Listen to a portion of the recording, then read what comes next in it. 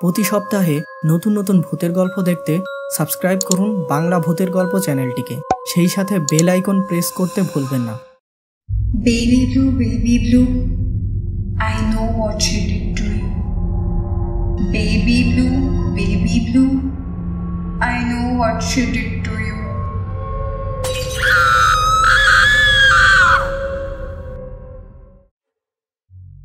সমস্ত শহর যেন হোলি উৎসবে মেতে উঠেছে।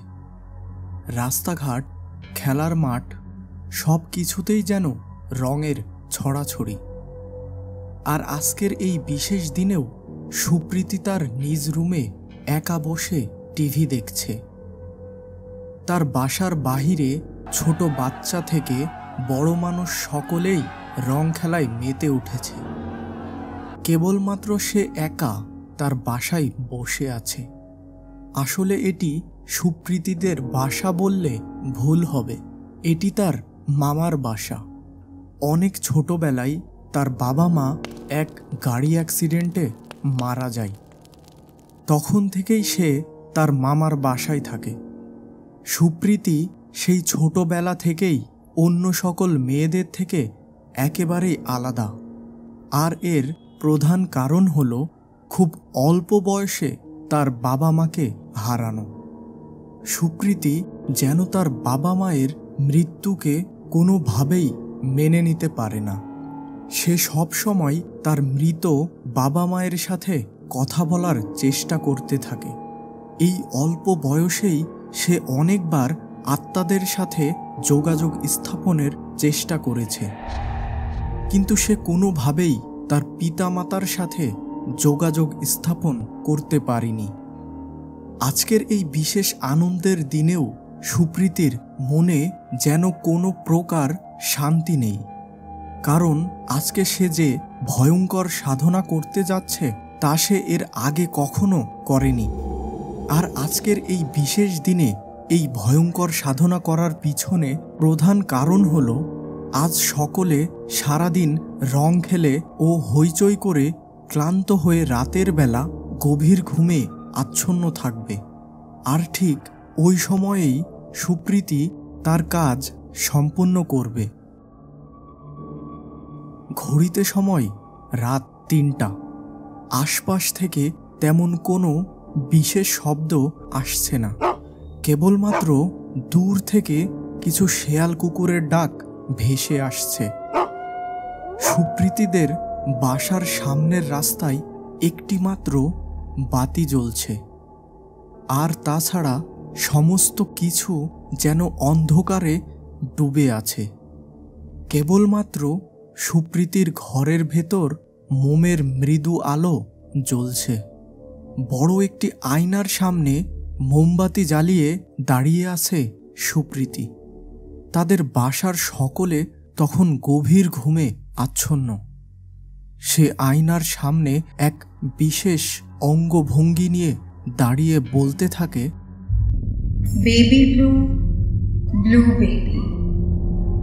Baby blue, blue baby. Baby blue, blue baby. সে তার হাত দুটি এমনভাবে রেখেছে যেন মনে হচ্ছে তার দুই হাতে কিছু একটা উঠিয়ে ধরেছে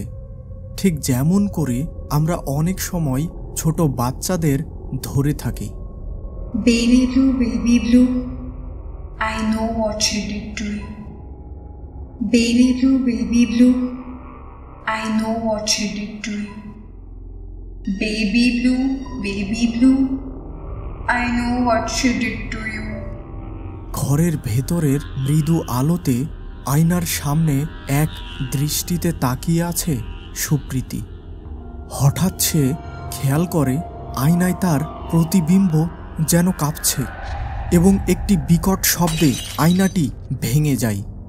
সেই সাথে মোমবাতিও নিভে যায়।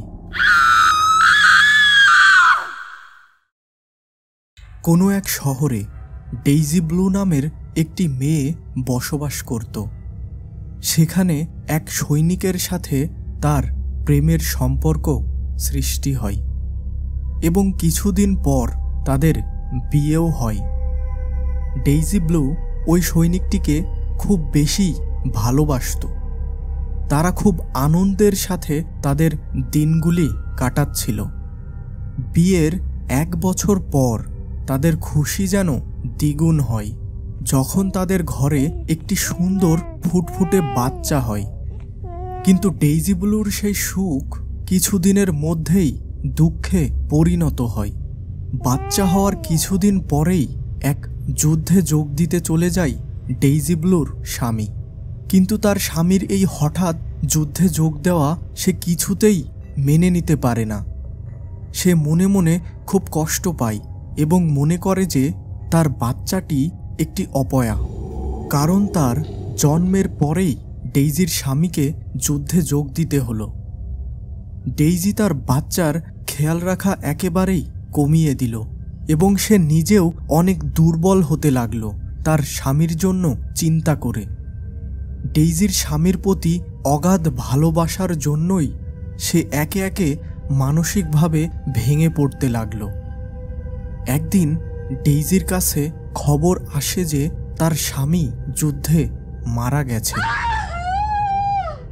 এই খবরে ডেইজি একেবারেই মানসিকভাবে ভেঙে পড়ে। স্বামীর মৃত্যুর শোকে এক পর্যায়ে সে কঠিন এক মানসিক রোগে আক্রান্ত হয়। একদিন ডেইজি তার স্বামীর সাথে নিজের একটি ছবি দেখে খুব রেগে যায় এবং এক আছাড়ে সেটি ভেঙে ফেলে এবং চিৎকার করতে থাকে। কাজ ভাঙার শব্দ ও ডেইজির চিৎকারে বাচ্চাটি খুব জোরে কেঁদে ওঠে। ডেইজি তখন ভাঙা কাচের এক টুকরো দিয়ে তার বাচ্চাকে মেরে ফেলে এবং নিজে আত্মহত্যা করে।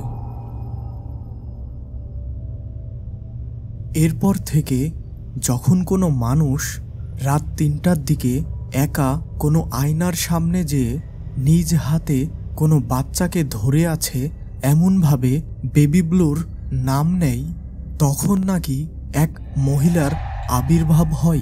ওই আয়নার ভিতর এবং ওই মানুষটি তার হাতে একটি বাচ্চার ওজন অনুভব করে।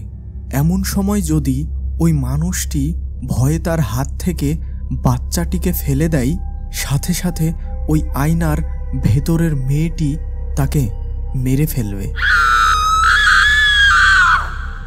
কিন্তু যদি ওই মানুষটি ভয় না পেয়ে ওই বাচ্চাটিকে হাতে রেখে আয়নার ওই মেয়েটিকে বোঝাতে সক্ষম হয় যে শুধুমাত্র তার দোষেই তার বাচ্চা ও তার মৃত্যু হয়েছে। তাহলে ওই মানুষটির ভবিষ্যৎ জীবন খুব সুখের হবে এবং তার ভাগ্য সবসময় তার সহায় হবে। সকালে সুপ্রীতির মামা মামি সুপ্রীতির ঘরে এসে একেবারে হতবম্ব হয়ে যায়।